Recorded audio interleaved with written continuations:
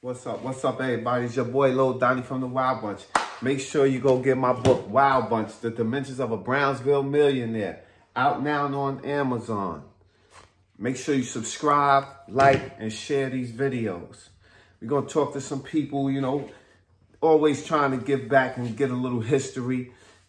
So when we put this documentary out, you know what I mean, we be we give y'all some good content that y'all can reminisce. You know, it's all about just trying to inspire people, you know what I mean? Saying, yo, if Lil D could do it, I could do it, you know? If he could write a book, I could write a book. If he could make a movie or tell a story, I could tell you, you know, it's other ways to get some funds besides just running the streets and breaking the law. You know, a lot of us at certain ages, we've been through that. So I know what the guys that's 12, 13, 14, 15 years old, I kind of know what they're going through. Their circumstances ain't exactly like mine, but they're going through stuff and there's probably nobody giving them nothing so they can push forward. You know what I mean? So, you know, like I said, I always trying to holler at people and get some info. We're going to check on some people. You know, I'm always got people calling in and getting a little history for y'all. Let's make a call and see who we got on the line. Let's make a call. Please leave your name. Hold on, they ain't gonna, they gonna call me back. Nah, that phone be acting up. Let's get some people on the line.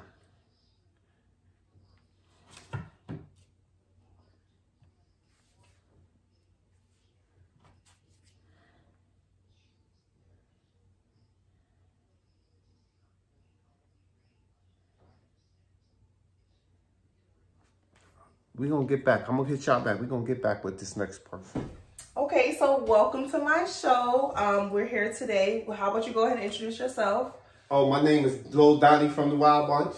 Okay, Lil Donnie. Well, we are here discussing your book. How about you tell them a little bit about your book that you have out? Well, I wrote a book um, about my father it's called Wild Bunch, The Dimensions of a Brownsville Millionaire. Mm-hmm. He used to be in the streets back in the days. Um, we, we came from the Brownsville, Ocean Hill section of Brooklyn, New York. And, you know, I tried to write from a perspective of like if your father was Michael Jordan, right. you don't know the superstar. You just know the father. Right. So, you know, my dad was a big figure in the streets so I didn't really know that as a kid. You know, I'm his son growing up baby. But, you know, I, I knew him as dad. You know, right. so stuff I heard about as I got older in the street, it, it I never knew it as being wrong, you know, because I was right. a kid. I just looked at him as dad. So I wrote the book from that perspective, like a love story.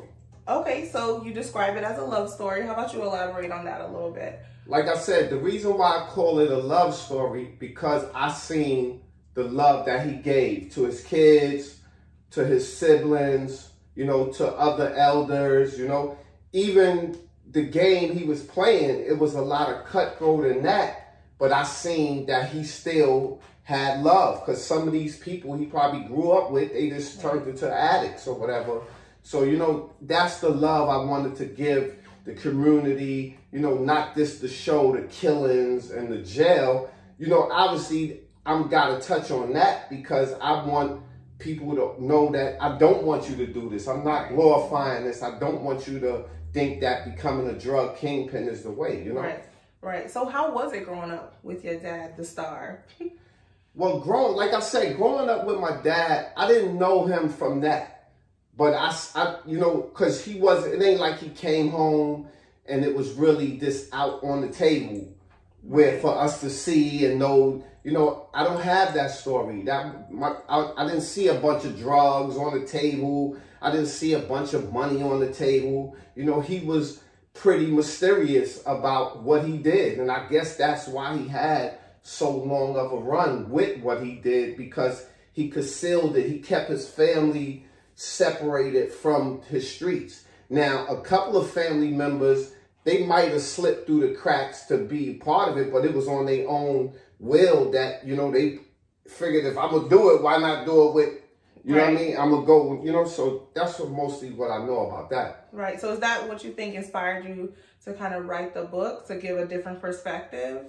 Well, what really helped me write the book, because like I said, I didn't want to just write about drugs and guns and the negative.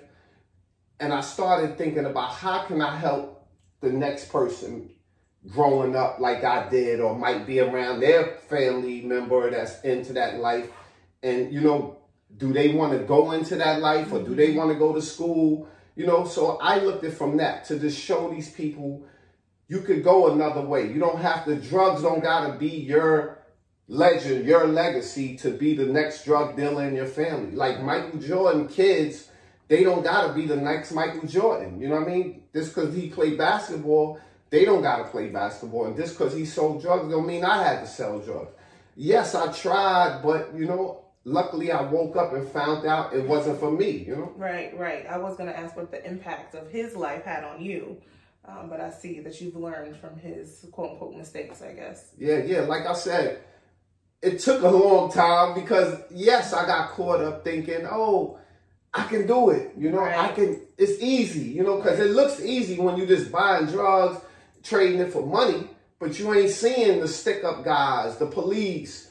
You ain't thinking about that, and you can't think about it because when you in, you in. So you can't think about the the pitfalls of it because that's what's probably going to get you caught if you keep thinking about getting caught. Right. You know, but what you should be thinking about is how to use that to get out of it. Because most of the people you hear that was selling drugs that's still on the street, they had an exit plan, whether it was music, sports, whatever. You know what I mean? Just going to school, period. You know, so it took me a while, but I eventually found the exit plan. And now here I am, you know, like I said, writing a book is a way for me to show the next people behind me that you could write a book. You could you could sell clothes. You know, I got the clothing brand. Right.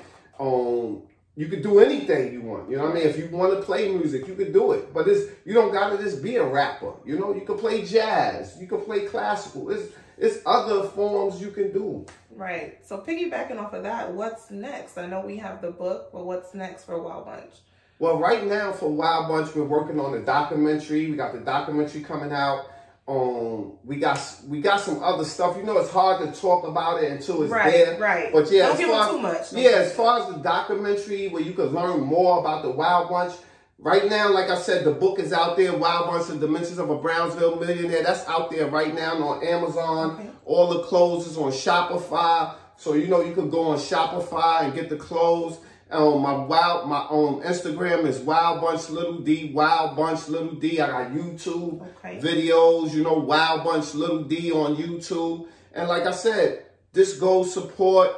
Make sure you subscribe to the YouTube and go get that book. Wild Bunch, The Dimensions of a Brownsville Millionaire out now on Amazon. Stay safe out there. Stay safe out there and go get that book. All right. Thank well, you thank so you. much. Yep. Let's see. That was good, right?